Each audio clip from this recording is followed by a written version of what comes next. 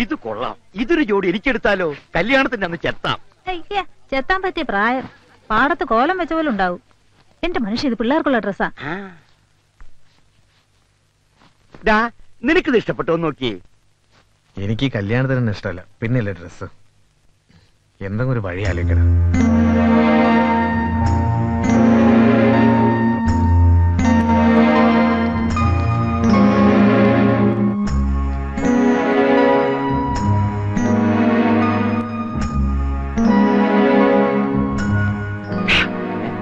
എന്താടാ? അച്ഛനല്ല നീ ഒന്നും എടുക്കുന്നില്ലേ? അത് ഞാൻ എന്താടാ? അല്ല അപ്പുറത്ത് നല്ല സെലക്ഷൻ ഉണ്ട്. ചെന്ന് നോക്കടാ. ആ. പിന്നെ രുക്മിണി.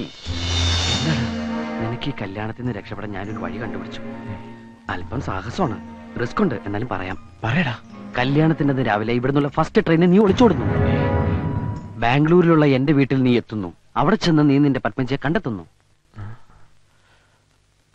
എന്താ ആലോചിക്കണേ? നിന്റെ അച്ഛന്റെ അമ്മയുടെ കാര്യം ഓർത്തിട്ടാണോ? അവരെങ്ങനെയെങ്കിലും പിന്നീട് പറഞ്ഞ് ആശ്വസിപ്പിക്കാം. പക്ഷേ പക്ഷേ പുതിയൊരു ജീവിതവും സ്വപ്നം കണ്ട് മണ്ഡപത്തിലേക്ക് അണിഞ്ഞൊരുങ്ങി വരുന്ന ആ പെണ്ണിനോട് ഞാൻ ചെയ്യുന്ന ഏറ്റവും വലിയ ക്രൂരതയല്ലട ഈ ഒളിച്ചോട്ടം. ആ ഞാനൊന്ന് പറഞ്ഞോട്ടെ ഇഷ്ട? പെണ്ണ് മണ്ഡപത്തിലെത്തും. നിന്നെ കാണാതെ അവിടെ ഒരു സ്ഫോടനം ഉണ്ടാകുകയും ചെയ്യും. അപ്പോഴാണ് എന്റെ എൻട്രി. നിനക്ക് വേണ്ടി ഞാനൊരു ത്യാഗം ചെയ്യും. ഞാൻ അവളെ കിട്ടും. നിന്നെക്കാളും ഒട്ടും മോശമല്ലാത്ത എന്നെ സ്വീകരിക്കാൻ അവളുടെ ബന്ധുക്കൾ തയ്യാറാകും. അപ്പൊ നിന്റെ പപ്പി? ഉം. അപ്പ, പ, പ, പപ്പി കുപ്പിയാ. ഹും. ഇന്നലെ കണ്ട പപ്പിയേക്കാൾ എനിക്ക് വലുത് നീയാടാ. എല്ലാം നിനക്ക് വേണ്ടിയാ. നിന്നോടുള്ള ആത്മാർത്ഥ കാരണ. സ്നേഹം കാരണ. ഇതിനൊക്കെ പകരം ഞാൻ എന്താടാ ചെയ്യാ? നിന്നെ പോലെ ഒരു കൂട്ടുകാരനെ കിട്ടിയതാ എന്റെ ഏറ്റവും വലിയ ഭാഗ്യം. അത് നിനക്ക് എപ്പോഴെങ്കിലും ബോധ്യാവും. ഏ? അല്ല അത് നിനക്ക് ഇപ്പോഴെങ്കിലും ബോധ്യമായല്ലോ എന്ന് ഉവ്വടാ ഉവ്വ്. ഇതെങ്ങനെയുണ്ട്? എന്ത് തമാശ നടന്ന ഇത്ര സന്തോഷിക്കാൻ? ഞാൻ ഇവനൊരു ടേണിംഗ് പോയിന്റ് പറഞ്ഞു കൊടുത്തു. ഇവൻ ചിരിച്ചിരിച്ച് ആ ടേണിംഗ് പോയിന്റ് ഒക്കെ അവിടെ നിൽക്കട്ടെ. ദേ ഇതൊന്ന് നോക്കിയേ. കല്യാണ ഷർട്ടിനുള്ള തുണിയാ. നീ നോക്കിക്കേ. ഇഷ്ടപ്പെട്ടോ? മുറിക്കാനാ? നിനക്ക് ഇഷ്ടപ്പെട്ടോടാ. എത്രയാ നിന്റെ അളവ്? എത്രയാ? രണ്ടര മീറ്റർ ഫുൾ കൈ. നീ എന്തിനാ എല്ലാ കാര്യം അവനോട് ചോദിക്കണേ? കെട്ടാൻ പോണത് അവനാണോ? അച്ഛനെല്ലാം അറിഞ്ഞു തോന്നണേ? പട്ടി. അത് നമുക്കെല്ലാം അറിയൂ. ഹലോ? ഇന്ന് തന്നെ അയച്ചേക്കണം. ആ നാളെ എങ്കിലും കിട്ടണം ഓണമൊക്കെ കഴിഞ്ഞ. വളരെ ടൈം ആണ്. റിങ് ചെയ്താ ഒരിക്കലും എടുക്കാത്ത നമ്പറായിട്ട് ഒരുത്തം പന്നുണ്ട് വെറുതെ സമയം എടുക്കാൻ ആ. ഒന്ന് വിളിച്ചോട്ടെ. അയാളൊന്ന് ഇറങ്ങിക്കോട്ടെ. നാപ്പത്തെട്ട് അമ്പത്. അതെ പഴയ നമ്പർ തന്നെയല്ലേ? അത് കിട്ടൂല. കരിനാക്കെടുത്ത് വളയ്ക്കാതെ. ഇതെന്താ നേർച്ചയാണ്? കൽക്കട്ടയ്ക്ക് ഒന്ന് വിളിക്കണമല്ലോ. അതെ ഒരു പ്രാവശ്യത്തെ കൂടുതൽ ട്രൈ ചെയ്ത് തന്നെ മെനക്കെടുത്തരുത്.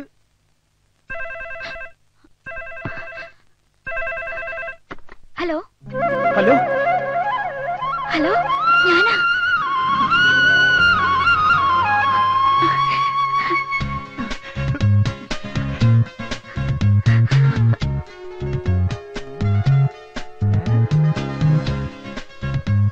ഇത്രയും കാലം ഫോൺ കിട്ടാനത്തായിരുന്നു കിട്ടിയപ്പോ ഒന്നും മിണ്ടുന്നില്ല. എന്തേ ഇത്? ദാ, ഹലോ? എന്താ എന്നെ പിന്നെ വിളിക്കാഞ്ഞത്? വിളിക്കണുണ്ടായിരുന്നു. കിട്ടണ മുഴുവൻ റോങ് നമ്പറാ ഞാനിപ്പോ നാട്ടിൽ ഈ ഫോൺ ഒന്ന് കിട്ടാൻ വേണ്ടി ദിവസം പ്രാർത്ഥിക്കുന്നുണ്ടായിരുന്നു. ഞാനും ദൈവം നമ്മുടെ കൂടെ ഉണ്ട്. അതുകൊണ്ടാണല്ലോ ഇപ്പോഴെങ്കിലും ഒന്ന് കിട്ടിയത്. ഞാൻ ഞാൻ വലിയ ടെൻഷനിലായിരുന്നു അതിനേക്കാൾ വലിയ ടെൻഷനിലാണ് ഞാൻ. എന്റെ കല്യാണം നിശ്ചയിച്ചിരിക്കുക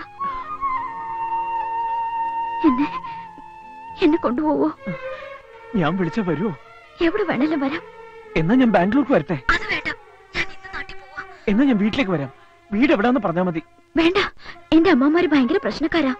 അനിയൻകുട്ടി പറ ഞാൻ എവിടെ വരണ്ടേ? എന്റെ വീട്ടിൽ നിന്ന് കുറെ ദൂരമുണ്ട് ഒരുവാതിൽ കോട്ടയ്ക്ക് സാരില്ല ഞാൻ എങ്ങനെങ്കിലും എത്താം. എപ്പോഴാ വരണ്ടേ? ഇരുപത്തേഴാം തീയതി രാവിലെ എട്ട് മണിക്ക് വന്നാ മതി. ഇരുപത്തിയേഴാം തീയതിയോ? എന്താ ഒന്നും പറയാത്തത്? ഞാൻ കാത്തു നിൽക്കും. അനിയൻകുട്ടി വീട്ടുകാർക്ക് മുഴുവൻ അപമാനം വരുത്തി വെച്ചിട്ടാ ഞാൻ ഓടിപ്പോരുന്നത്. വരാതിരിക്കോ?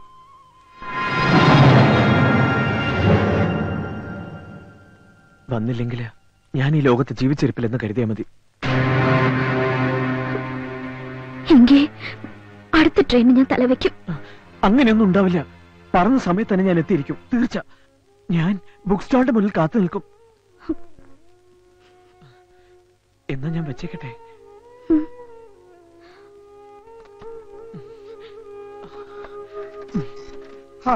ചെല്ലി കൽക്കട്ട കൽക്കട്ട. ഇത്രയും നാൾ വിളിച്ചിട്ട് കിട്ടാത്തതിലുള്ള നഷ്ടമൊക്കെ നികത്തി തന്നെ നന്ദി. ഇതാ ബില്ലി എഴുന്നൂറ്റി നാൽപ്പത് രൂപ. ഇന്നാ. എണ്ണൂറ് രൂപയുണ്ട് ആ. ബാക്കി താമസം എന്തൊരു തങ്കപ്പെട്ട മനുഷ്യൻ? ഞാൻ തെറ്റിദ്ധരിച്ച് ഇടക്കിടക്ക് വരണേ. എന്നാ ഞാൻ പോട്ടെ. വേഗം കൂടി കൊടുക്ക്. അതെ നമുക്ക് ഈ ബസ് വേണ്ട. അതിന് പകരം പത്ത് അംബാസഡർ കാർ ആയിക്കോട്ടെ. പിന്നെ ചെക്കനെ പെണ്ണിനെ ഇരിക്കാൻ ഒരു സി എൻ ഈ കാറുകൾ ഇങ്ങനെ നിരനിരയായി നമ്മുടെ പച്ചപ്പട്ട് വിരിച്ച ഗ്രാമത്തിലൂടെ പോകുന്നത് ഒന്ന് സങ്കല്പിച്ചു നോക്കിയേ. സങ്കല്പിച്ചോ? സങ്കല്പിച്ചു. സംഗതി നല്ല സുഖമുണ്ട്. എടാ ചെറുക്ക നീ എന്നെ കുളിപ്പിച്ച് കരുതുന്ന ലക്ഷണമാണല്ലോ. അച്ഛാ ഈ കല്യാണം ജീവിതത്തിൽ ഒരിക്കലേ ഉള്ളൂ. അവിടെ പണം ഒരു പ്രശ്നമാക്കരുത്. മൊത്തം ഇല്ലെങ്കിൽ തന്നെ ഐ വിൽ പേ. എനിക്ക് ഒറ്റ ദുഃഖേ ഉള്ളൂ. ഈ കല്യാണം കാണാൻ എന്റെ ഡാഡി മമ്മി ഇവിടെ ഇല്ലല്ലോ പാവങ്ങൾ. ഉടനെ ഒരു കമ്പി അടിച്ചാ വരുമോ ബുദ്ധിമുട്ടാ. ആ കുഴപ്പമില്ല. അവരെ നമുക്ക് വീഡിയോ കാണിക്കാം. ആ പിന്നെ സദ്യക്ക് ബോളി ഉണ്ട്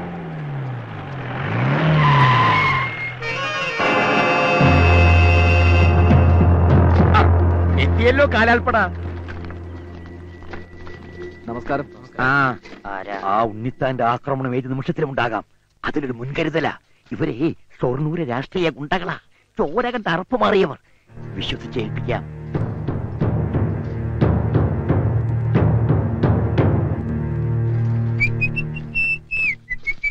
നീ ഇതെവിടെയായിരുന്നു?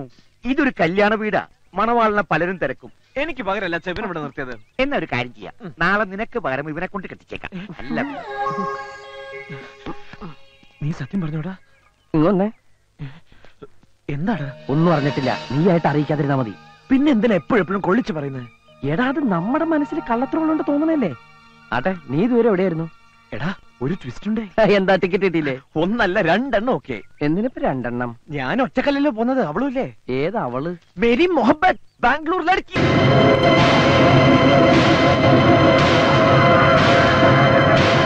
അതേടാ എനിക്ക് അവളെ ഫോണിൽ കിട്ടി. അവളുടെ കല്യാണം പക്ഷെ എന്റെ കൂടെ ഇറങ്ങി വരാന്ന് പറഞ്ഞു. എന്നിട്ടൊരു ചോദ്യം. ഞാൻ വരാതിരിക്കുമെന്ന് ഞാൻ എത്തിയില്ലെങ്കിൽ ചത്തു എന്ന് കരുതിയാൽ മതി എന്ന് ഞാൻ പറഞ്ഞു.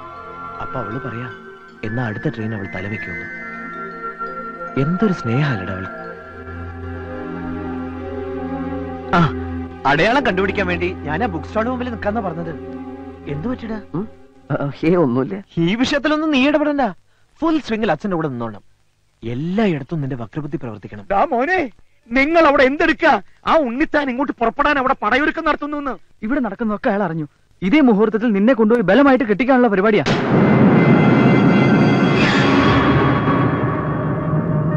എങ്ങനെയെങ്കിലും അത് തടയണം. എന്തായാലും ഈ മുറ്റത്തൊരു ചോരപ്പുഴ ഒഴുക്കണ്ട. അതിനു മുമ്പ് ശത്രുപാളയത്തിൽ നമ്മുടെ രാഷ്ട്രീയ പടത്തട്ടെ എടോ ആ ഉണ്ണിത്താനടക്കം എല്ലാവരും ഇന്ന് തന്നെ ആസ്പത്രിയിൽ എത്തിയിരിക്കണം. ചുരുങ്ങിയിട്ട് ഒരു മാസം കഴിഞ്ഞിട്ട് അവർ ഇറങ്ങാവൂ. നിക്ക. വെട്ടും കൊലയും ബുദ്ധിയല്ല. ഈ കാരണം കൊണ്ട് നാളെ നിങ്ങളെല്ലാവരും ജയിലിൽ കിടന്ന് അഴിയണേണ്ടി വരും. ഇത് എനിക്ക് വിട്ടാ. ഞാൻ സോൾവ് ചെയ്തോളാം. ഒറ്റയ്ക്ക്. എന്നും ഞാൻ മതി ആ മോനെ നല്ല സൈസ് ഒത്ത പത്തിരുപതെണ്ണം അവിടെ കാണും. അവർ നിന്നെ നിരത്തും. കപ്പൽ മറിക്കാൻ കൊഞ്ചുപൊടി മതി എന്നല്ലേ കണക്ക്? അവരെ നേരിടാൻ എനിക്ക് ബുദ്ധിമതി. ശക്തി വേണ്ട. ബുദ്ധി നിങ്ങൾക്ക് കുറവാണെന്നറിയാം. എന്നാര് പറഞ്ഞു? അതുകൊണ്ടാണല്ലോ ഈ പണിക്ക് വന്നത്. എല്ലാം വിശദമായിട്ട് പറഞ്ഞു മനസ്സിലാക്കടാ. നമ്മളിപ്പോ പോണത് കുറുപ്പിന്റെ വീട്ടിലേക്കാണ്. അവിടെ ചെന്ന് നമ്മൾ അടി തുടങ്ങുമ്പം എതിർ ടീമിലെ മൂന്നാലെണ്ണം വെറുതെ വായും പൊളിച്ചു നിൽക്കണ നമ്മളെ മുതലാളിയുടെ മേക്കിട്ട് കയറാൻ ചെല്ലും. മുതലാളിയുടെ എല്ല് പറപടാന്ന് ഓടിയണ കാണാൻ എനിക്ക് വയ്യ. അതുകൊണ്ട് മുതലാളിയുടെ സംരക്ഷണ ചുമതല നിനക്കായിരിക്കും. എന്റെ ബോഡിയുടെ ചുമതല നിനക്ക്. ചെക്കനെ പൊക്കേണ്ട ചുമതല നിനക്ക്. എനിക്കാരാ ചെക്കൻ അറിയില്ല. കണ്ടാ കൊള്ളാത്ത പിടിടാ. എനിക്ക് അവരെ തന്നെ വേണം. കൂട്ടത്തിൽ നല്ല പെങ്കൊച്ചുങ്ങളുണ്ടെങ്കിൽ വിടണ്ട. ഞാൻ കെട്ടിയിട്ടില്ല. നിന്നെ ഞാൻ കെട്ടിക്കിടിക്കും ഓ. ആ എന്നാ പുറപ്പെടാം. ഓ.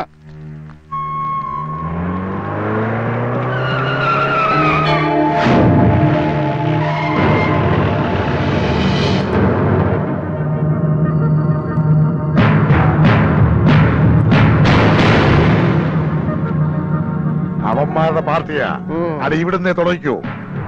എന്താണ് പറഞ്ഞത് കേട്ടില്ലേ? ഞങ്ങളുടെ കൈ വീണാൽ ഇവൻ ചത്തുപോകും. വെറും ഞരമ്പ് ഇവൻ ഞങ്ങൾക്കൊരല്ല ഇവനെ പോലെ കുറെ എണ്ണ അവിടെ കാണൂ. അപ്പൊ നിങ്ങൾ തല്ലില്ലേ? അവൻ എന്റെ അടുത്തേക്ക് വരുന്നു. അടിയടാ? വേണ്ട. എന്താടാ വേണ്ട വേണ്ടാന്ന് പറഞ്ഞു. ഞാൻ നിങ്ങളുടെ ശത്രുവായിട്ടല്ല വന്നത്. പിന്നെ മിത്രമായിട്ടാണോ? അതെ. നിങ്ങളിപ്പോ അങ്ങോട്ട് ചെല്ലുന്നത് ബുദ്ധിയല്ല. ഇവന്മാരെക്കാളും നല്ല തന്റെ ഇടവും തടിമെടുക്കുമുള്ള ഷൊർണൂർ ഗുണ്ടകൾ അവിടെയുണ്ട്. ഈ ഓച്ചറ പ്രദേശത്തിന്റെ കയ്യിൽ അവർ ഭസ്മം. അതൊക്കെ വെറും തോന്നല. അവന്മാരുടെ കയ്യിൽ എങ്ങാനും ഇതുങ്ങളെ കിട്ടിയ അടിച്ചൊതുക്കി മടക്കി എടുത്ത് ആശുപത്രിയിൽ എത്തിക്കും എന്നിട്ട് അവർ മനസമാധാനത്തോടെ നാളെ കെട്ടെടുത്തുകയും ചെയ്യും. ദേ എന്നെ നിങ്ങൾക്ക് വിശ്വസിക്കാം. ഞാൻ കൊച്ചുറുപ്പിനെ ഇവിടെ എത്തിക്കാം.